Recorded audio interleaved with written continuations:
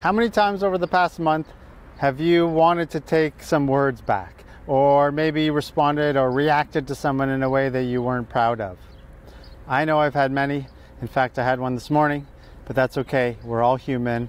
We all make mistakes. And the beautiful thing is that we can all make up for our mistakes and move forward and grow and, and learn to communicate more effectively and to practice empathy and compassion. In this video, we're going to talk about difficult communication, stressful events, and how we can learn to handle those better to be more helpful to those around us and also to increase our capacity for well-being.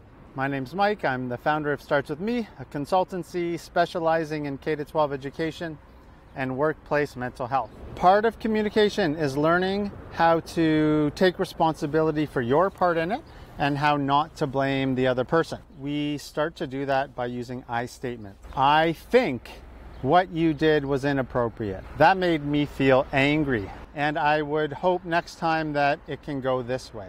Or maybe we can discuss how to do a better job next time so that we can both get the outcome we're looking for. Another way to have more effective communication styles is to practice self awareness so if you didn't watch the first video, I encourage you to do that because that helps us understand when our emotions are becoming dysregulated and it helps us tune in and practice calming down our nervous system so that we can have more effective communication with people. If we've had a bad interaction and we want to make up for it and apologize, then we really need to own our part in it and own our behavior. I am sorry for how I handled that. I will do this next time so that it doesn't happen again. If we know we're about to have a difficult conversation with someone and it's really making us anxious or nervous, one thing that can be really helpful is to set an intention. So prior to having this difficult conversation, you want to set the intention to be patient or empathetic or kind or understanding prior to going towards it.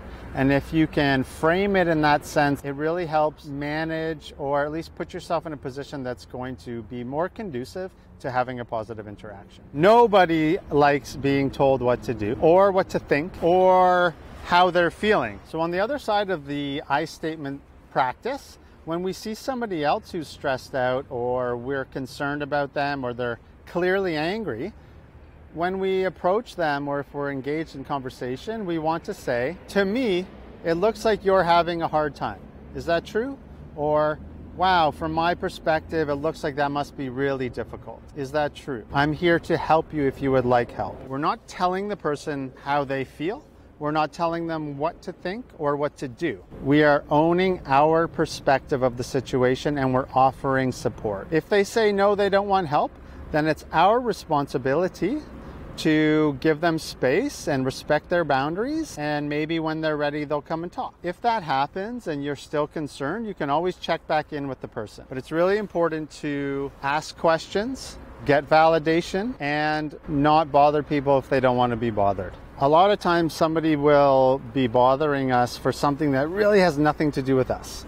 Oftentimes, people's reactions or the way they handle things is really due to underlying circumstances that are not have nothing to do with our current situation. So try to remember that as well. One thing that I have found to be really helpful is to take time outs.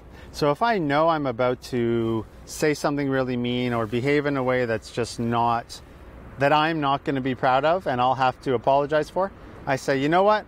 I need a little time out. I got to go calm myself down." And then I can return, set that intention, and be back uh, so that I can be of more service to this person and, and achieve the outcome that's good for both of us. So, to reiterate, we really want to practice using I statements. I think, I feel, I would like. Is that okay with you? Or if we are approaching somebody, to me, it looks like you might be having a hard time. Is that true? So we want to check in with them. We want to get their validation and we want to make sure we're not making assumptions. That allows space. That allows the person to feel that you're actually paying attention to them and not just out to give them a hard time. It also allows them space to soothe their nervous system and to calm down because we all know when we're worked up, thinking clearly, being kind, and choosing the right words can be really difficult. So, my invitation to you this week is to practice using I statements, to ask people for clarification if you're concerned about them, and to not make assumptions when having difficult conversations. Hopefully, by improving our ability to communicate and express ourselves, we can help ease the collective angst that's going on right now. And even as we come out of this, we'll be better equipped to make better decisions, to have more effective communication, and ultimately create a better and healthier world because I think we all want that and we all need that. All right? Take care. Peace out. Be well.